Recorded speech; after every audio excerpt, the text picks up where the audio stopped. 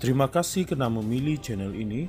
Sila pertimbangkan untuk menekan butang like, share dan subscribe dan jangan lupa aktifkan tombol lonceng anda agar anda sentiasa mendapat info-info percuma pada setiap hari dari channel kami.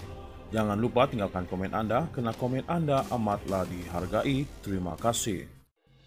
Anwar Ibrahim yakin kerajaan perpaduan pimpinannya akan kukuh sehingga tamat penggal ini selama lima tahun. Susulan perjanjian persefahaman permuafakatan yang dimeteraikan lima gabungan parti politik.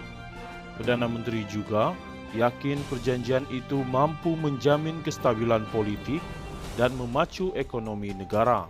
Katanya keyakinan itu berdasarkan komitmen semua parti dan gabungan politik yang menandatangani perjanjian berkenaan untuk terus menyokong kepimpinannya. Jika anda lihat apa yang sudah dirangka, perbincangan yang hebat untuk memahami komitmennya adalah untuk menyokong kerajaan yang stabil harapnya sehingga penggal berakhir.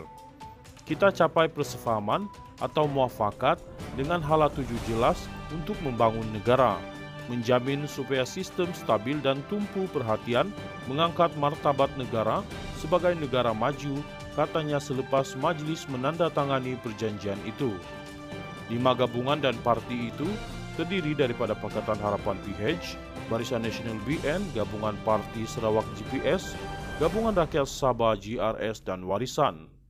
Ia ditandatangan Anwar selaku pengurusi PH, pengurusi Barisan Nasional BN Ahmad Zahir Hamidi, pengurusi GPS Abang Johari Openg, pengurusi GRS Haji Jinor, dan Presiden Warisan Syafi Abdal. Sementara itu, Zahid berkata, empat prinsip dalam perlembagaan menjadi antara perkara utama disepakati dalam perjanjian persefahaman ditandatangani hari ini. Timbalan Perdana Menteri berkata, segala kekhawatiran mengenai agama Islam, hak istimewa Melayu, kedudukan bahasa Melayu dan institusi diraja diambil kira dalam perjanjian itu. Bagi BN, permufakatan ini diterjemahkan dalam bentuk persefahaman setelah satu proses artikulasi terhadap hal yang termaktub dalam perlembagaan menjadi persetujuan bersama katanya.